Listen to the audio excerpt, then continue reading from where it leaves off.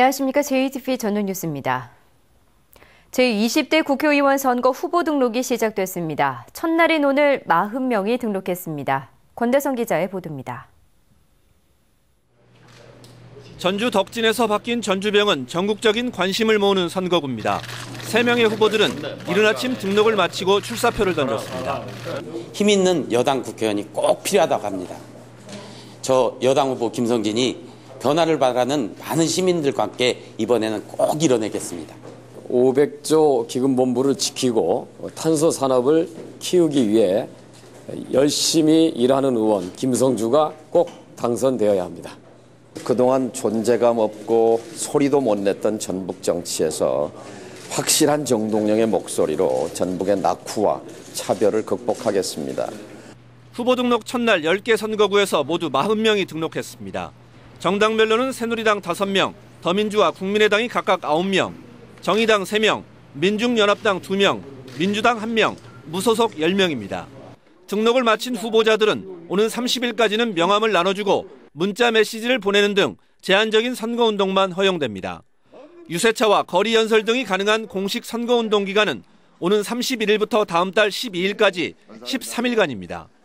선거일인 다음 달 13일에 앞서 8일과 9일 이틀 동안은 사전 투표가 진행됩니다. 선관위는 후보 등록과 함께 표심 경쟁이 치열해지면서 불법 선거 운동을 집중 감시합니다. JTB 뉴스 권대성입니다. 이번 총선은 공천만 받으면 당선이 되던 옛 총선과 크게 다릅니다. 더불어민주당과 국민의당의 양강 체제가 뚜렷한 데다 새누리당과 무소속 일부 후보들도 강세여서 한 치 앞을 내다보기 힘든 승부가 예상됩니다. 김철 기자입니다. 더불어민주당의 전신인 민주통합당은 19대 총선에서 두 석을 빼고 나머지 9석을 싹쓸이했습니다. 이번 20대 총선은 더민주의 이런 초강세가 쉽지 않을 것으로 보입니다. 지역 정치권은 더불어민주당과 국민의당이 전북의 제1당을 놓고 치열한 승부를 펼칠 것으로 분석합니다. 공천장을 거머쥔 후보를 보면 더민주의 현역 의원은 4명으로 줄었고 전직 의원 1명, 나머지 5명은 사실상 정치 신인입니다. 국민의당은 현역 의원 2명과 전직 의원 3명, 전 기초단체장 또는 광역 의원 3명, 정치 신인 2명입니다. 두 당 후보들의 인지도가 만만치 않아 누가 전북의 제1당이 될지 쉽게 가늠하기 어렵습니다. 친노 패권이니 이런 식의 어떤 불필요한 논쟁보다는 정말 20년을 누가 더 잘 이끌어갈 수 있는 것인지에 대한 어, 비전과 정책이 논의되었으면 좋겠고요.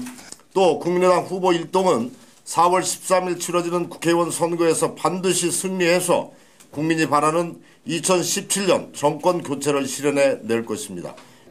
여기에 새누리당 정운천 후보와 무소속으로 뛸 현역 강동원 후보의 득표율도 무시할 수 없습니다. 더불어민주당이 싹쓸이했던 과거와 달리 국민의당이 새롭게 등장하고 새누리당과 무소속으로 중량감 있는 후보가 나서 곳곳에서 접전이 예상되고 있는 겁니다. 전북에서 유력한 정당의 공천장만 받으면 당선은 떼놓은 당상이라는 말은 이제 옛말이 됐습니다. JTB 뉴스 김철음입니다.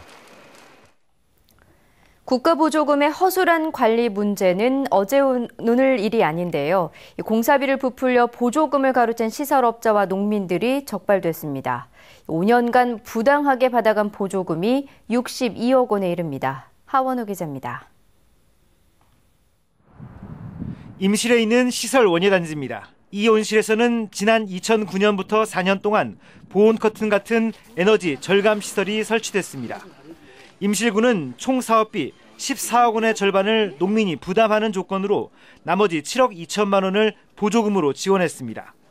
하지만 실제 농민이 부담한 금액은 거의 없습니다. 자부담을 줄이기 위해 공사비를 부풀려 견적을 내고 실제로는 반값 공사를 했기 때문입니다.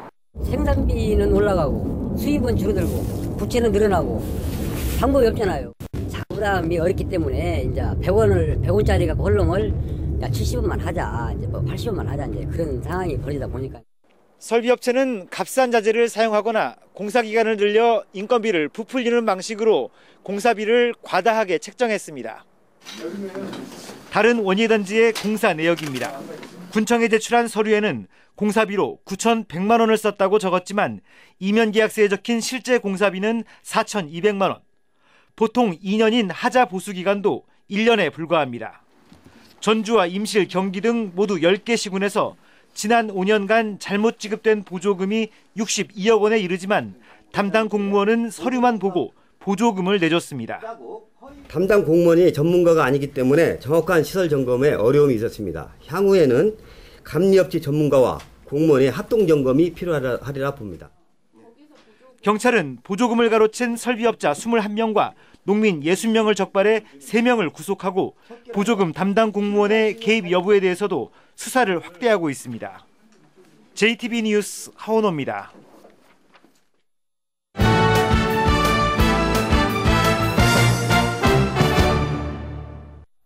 전북 현대가 K리그 개막전을 포함한 3월 첫 경기에서 3승 1무 1패를 기록했습니다. K리그와 아시아 챔피언스 리그 정상을 위해 조직력 정비가 시급해 보입니다. 올해 첫 전국 대회인 회장기 정구 대회가 순창에서 막을 올렸습니다. 스포츠 소식 정원희 기자입니다. 전북 현대는 이달 들어 모두 5경기를 마쳤습니다. K리그 1승 1무, 아시아 챔피언스 리그 2승 1패에 무난한 성적을 냈습니다. 이달 말까지 휴식기를 갖는 전북은 다음 달 8경기를 치르는 강행군을 펼칩니다. K리그와 아시아 챔피언스 리그에서 모두 우승컵을 들어올리려면 조직력을 바로잡는 게 시급합니다. 때마침 찾아온 A매치 휴식 기간이기 때문에요. 그 최강희 감독님은 선수들에게 그 조직력을 강화시키는 그 팀 전체적인 전술의 밸런스나 이런 부분들에 집중적으로 훈련을 임할 예정입니다. 돔 경기장에 뜨거운 함성이 가득합니다. 올해 첫 전국대회인 제37회 회장기 정부대회가 순창에서 막을 올렸습니다. 국가대표 예선 3차 선발전과 주니어 대표 본선 1차 선발전을 겸한 이번 대회에는 모두 1,200여 명이 출전했습니다. 어, 동계훈련 동안 훈련을 했던 기량들을 오늘 점검하는 차원에서 첫 올해 그 전력이 전체적으로 나온다고 생각하시면 될 것 같습니다. 전북 출신 김권식 감독이 맡고 있는 페루 마라톤 국가대표팀이 군산에서 전지훈련을 갔습니다. 남자 4명과 여자 3명으로 구성된 페루 대표팀은 전북체육회, 군산시청 선수들과 함께 훈련을 펼칩니다.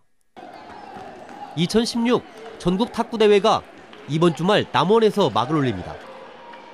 이틀 동안 열리는 이번 대회에는 모두 1,200여 명의 선수들이 출전해 실력을 겨룹니다. JTB 뉴스 정원익입니다.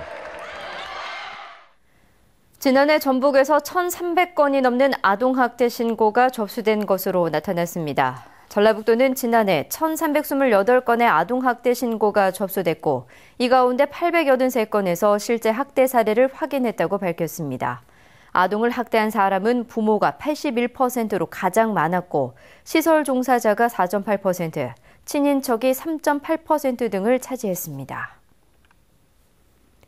익산 경찰서는 취업을 미끼로 지인들로부터 돈을 가로챈 혐의로 58살 김모 씨를 구속했습니다.